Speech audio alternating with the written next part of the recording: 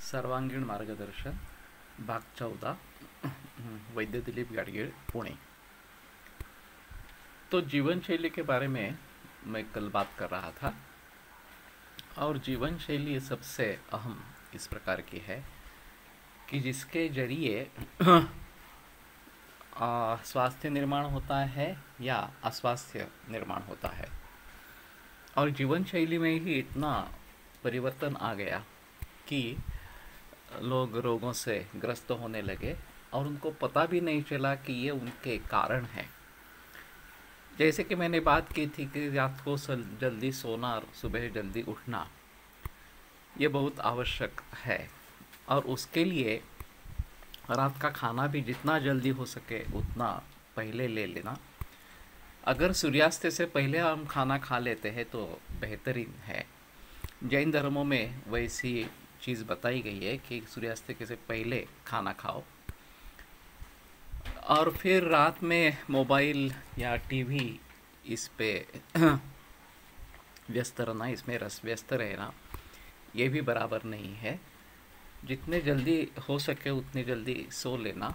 और सुबह है ब्राह्म मुहूर्त पे उठने का तो ये वातकाल रहता है।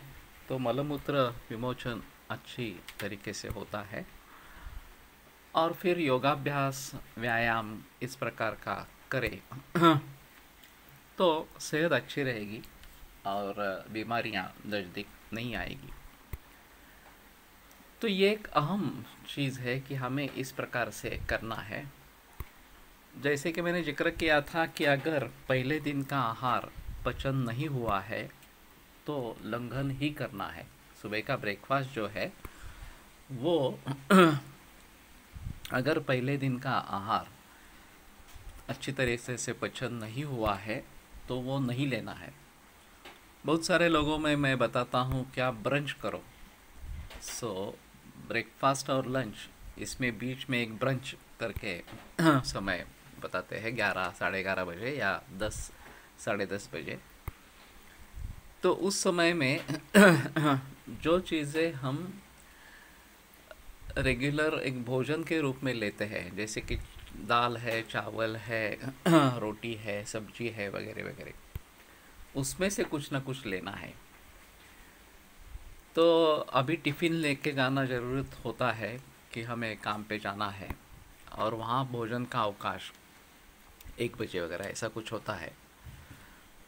तो सुबह और जल्दी निकलना पड़ता है। तो मैं बताता हूँ कि दाल चावल घर पे खाओ, रोटी सब्ज़ी लेके जाओ, दोनों मिलकर एक मील हो जाए, एक भोजन हो जाए, इतना ही रखो। और शाम को जब घर पे आएँगे तो तुरंत भोजन कर लेना। आते ही चाय पीना ऐसा मत करो। आते ही तुरंत भोजन कर लेना। और फिर रात में जल्दी सो जाना। ये सबसे बेहतरीन है। इसके साथ में सुबह है, देसी गाय का दूध ले सकते हैं, या शाम को भी अगर चाहे तो पाँच, साढ़े पाँच बजे देसी गाय का दूध ले सकते हैं। तो क्षीरघृताभ्यास और रसायनानाम यह हमारा सूत्र है जो कैंसर में भी हम भलीभांति प्रयोग में लाते हैं। तो क्षीर और घृत इनका अभ्यास, अर्थात ये देसी गाय का दूध और देसी गाय का घी, ये इसमें अपेक्षित है। तो उनका निरंतर सेवन, ये धातुओं को बलशाली बनाने में श्रेष्ठ है। उत्तम या प्रशस्त धातु निर्माण करने में वो श्रेष्ठ है। तो उसके लिए हमें इन दोनों पर ज़िक्र करना है। अभी मैं सभी कैंसर के मरीज़ को केवल दूध पे रखता हूँ, बाकी कुछ आहार नहीं लेने का। और जब भूख लगे, जितनी भूख लगे, उतना दूध ही लेने का। और फिर दो ढाई लीटर दूध तक अगर हम पहुँच जाते हैं एक दिन में तो फिर बाकी खाना भी धीरे धीरे शुरू करते हैं, लेकिन दूध कम नहीं करना है। दूध कम करने के बजाय जितना आप ऊपर से दाल, रोटी, चावल वगैरह ले सकते वो ले सकेंगे।